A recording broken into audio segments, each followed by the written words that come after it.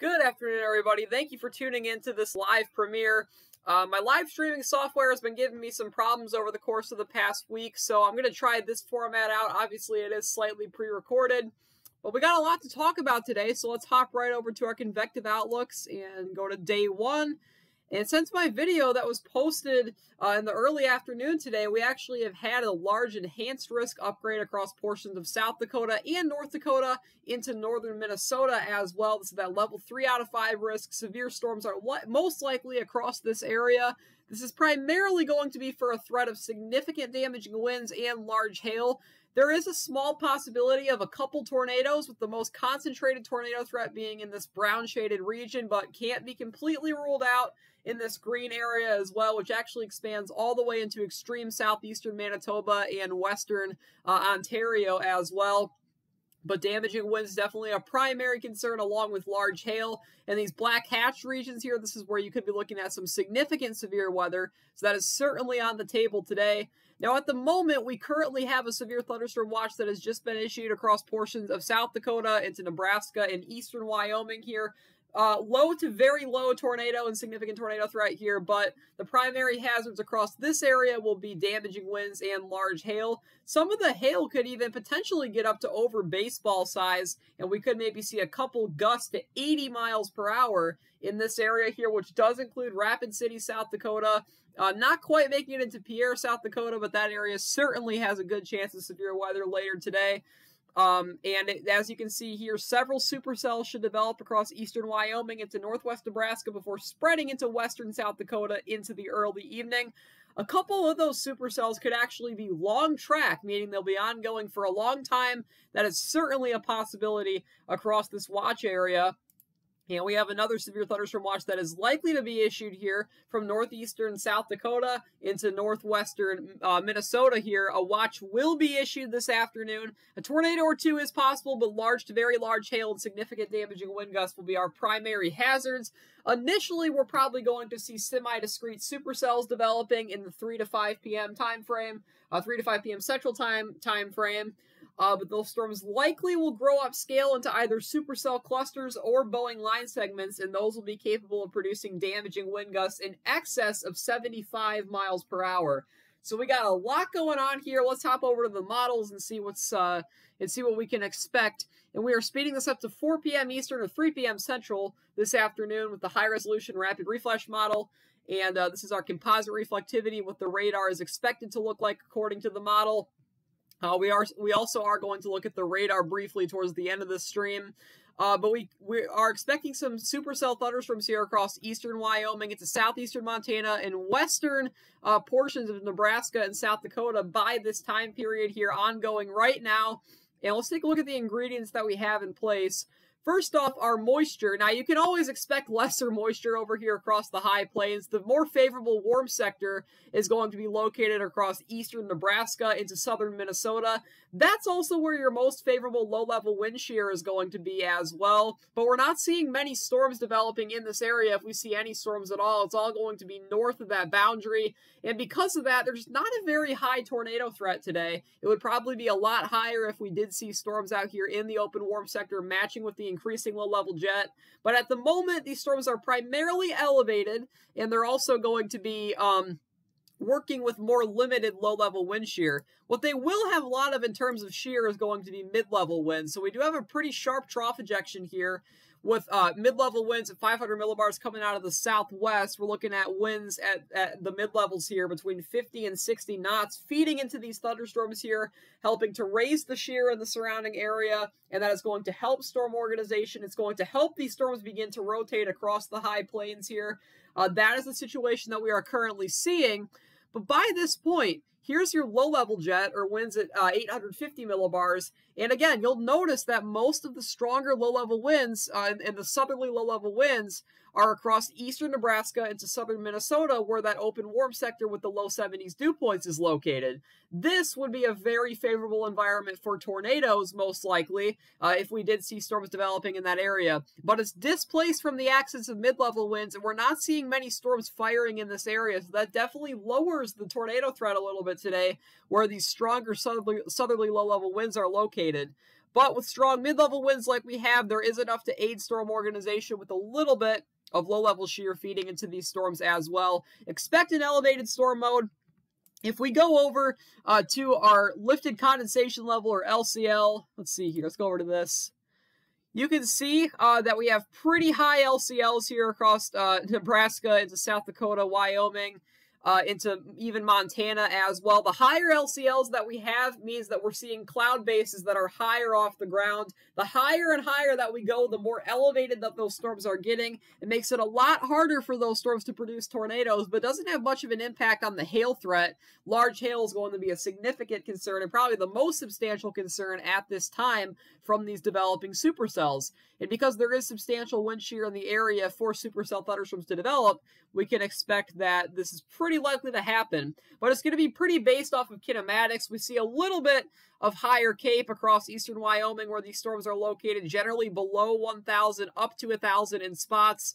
Uh, but again, most of the CAPE, most of the instability is going to be located to the east across that open warm sector uh, where the stronger low level winds are. And that is not where we are seeing storms at this time. And it doesn't look like we're going to be seeing them in that areas throughout the entire cycle. But you definitely got some pretty intense storms here, especially across east Wyoming into northwestern Nebraska, or into the Nebraska Panhandle, I should say.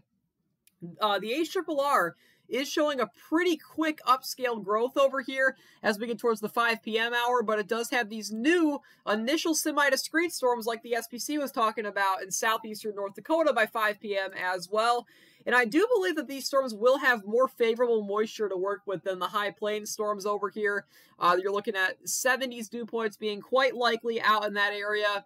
Your actual air temperatures are going to be in the upper 80s to even uh, potentially over 90 degrees. Still relatively elevated given that relatively high separation.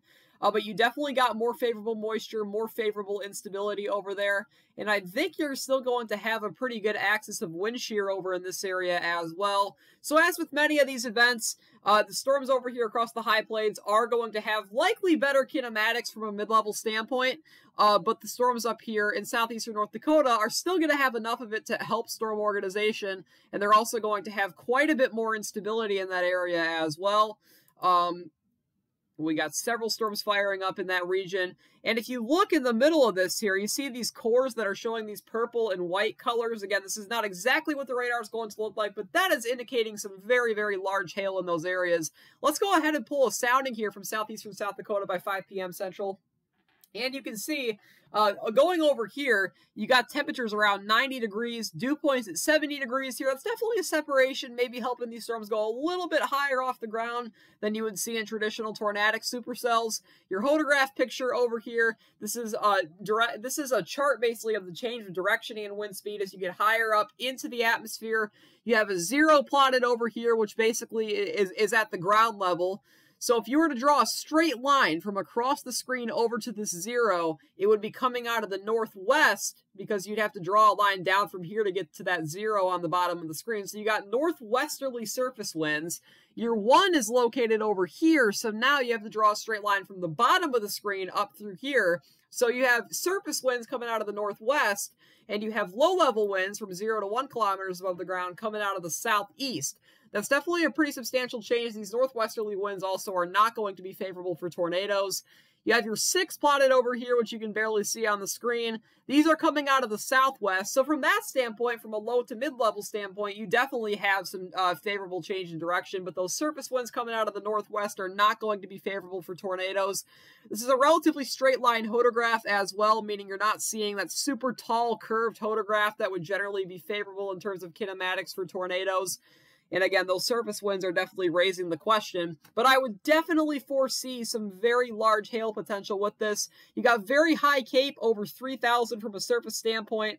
You got favorable dew points. Um, and you're going to have favorable deep layer shear as well. Low level winds are very weak, which again is also going to be another limiting factor for the tornado threat coming out of the southeast.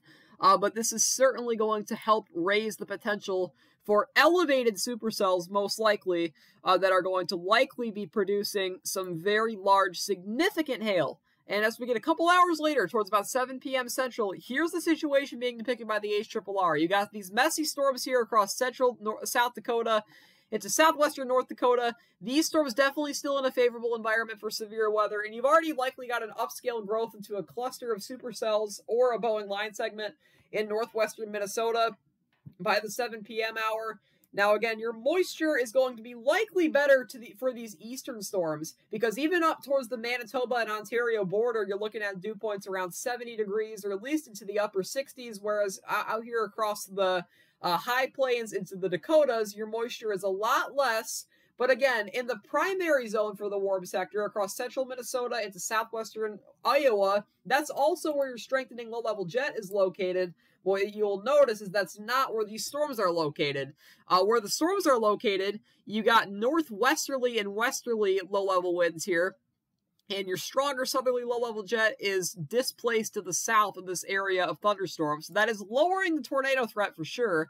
Um, but I think that if some storms can catch the, the northern flank of this increasing southerly low level jet, there is the possibility of maybe a tornado or two. They said a couple tornadoes possible from northeastern South Dakota into northwestern Iowa that or northwestern Minnesota. Sorry, that's your primary area of concern, and that would make sense because that is where the storms are getting a little bit too close for comfort to this low level jet here and we definitely have to watch some isolated tornado potential with this. The storms over here in the western Dakotas and the Nebraska Panhandle are also making their own stronger low-level winds here coming out of the west. You got westerly 850 millibar winds, and going over to composite reflectivity, here's kind of your situation at this point now. If I were to pull a sounding out ahead of this cluster here in northwest Minnesota, you can see here it says marginal tornado potential.